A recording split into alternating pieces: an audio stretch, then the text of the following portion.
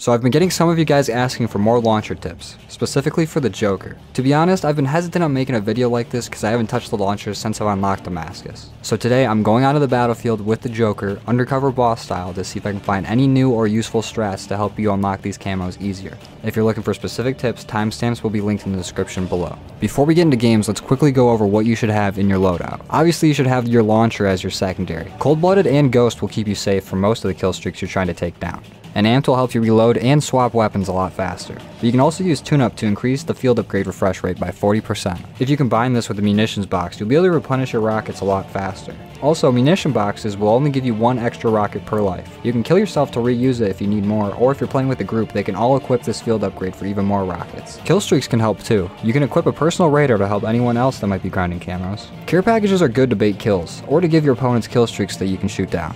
Same thing goes for emergency airdrops. Also, I'm going to be mixing in some live commentary I did while messing around with the JOKR, so you can understand my thought process on these strats better. Oh, he's got a fucking juggernaut! Anyways, the first game mode I want to get into is one that has been suggested by you guys quite a bit. And that game mode is Drop Zone. To explain to those that might be unfamiliar, Drop Zone is a 6v6 objective-based mode where two teams fight over an area where care packages drop.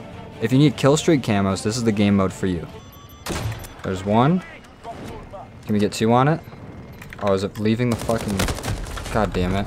There are plenty of air streaks, ground streaks, and the kill streaks that count as vehicles if you're struggling to get those camos done. As far as I know, this is a limited time game mode and can get taken out at any time, so take advantage of it while it's still there. And in its current playlist, it's grouped with Domination, so if you're only looking to play Drop Zone, you might need to back out a few times. But speaking of Domination, this is a good game mode to get attacker and defender kills.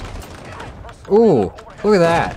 Most maps will work, but by far the most efficient is Shipment. I recommend you play Core because in Hardcore you'll constantly be dying before you get a shot off, or if you're lucky enough to get the shot out, you'll probably kill a teammate. But launching a rocket in the corners where the flags are is a solid way to rack up kills.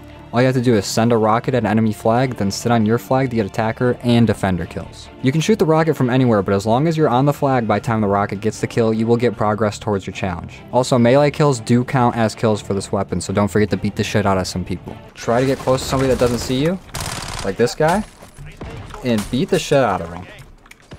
And that's a, that's a capture kill. That's an attacker medal right there. I did suggest playing Ground War in the past, but after they removed rockets from the ammo replenish stations and the crazy amount of people trying to take down kill streaks in the mode. Okay, we got a UAV here and it's gone. Make it almost unplayable and not worth it in the slightest. And now we're gonna try to launch one onto E. And if this doesn't work, we're gonna switch to a different game mode. Alright, we're gonna switch to a different game mode. But if you're looking for a better breakdown of the launchers, I'll link the guide I made on them a while back. Some of the information is outdated, but it still covers the basics for grinding these. Also, just stay patient and persistent while doing these camos to keep your sanity. It might take a while, just stick with it. If you have any strats with the JOKR, or any other launcher that I didn't mention in this video, go ahead and leave it in the comments below. You might help somebody else out. But that's all the strats I could find while revisiting the JOKR. If this video helped you or you learned something new, drop a like on it. If not, dislike. And if you're not subscribed, make sure you hit that sub button and that notification bell if you don't want to miss an upload. Follow me over at twitch.tv slash jmon3y26. I stream a minimum of once a week, but I'm working on squeezing in a few more. And I got some stuff planned that you don't want to miss. I also have an Instagram and a Twitter. Follow me there to see when I upload, go live, or see some clips that just don't make it into videos. But for all the people that watch all the way to the end of the video, drop a F the JOKR in the comments below. But don't put the actual fuck word or YouTube will delete it. I learned that the hard way with the AR guide. Anyways, I'm out of here. Peace.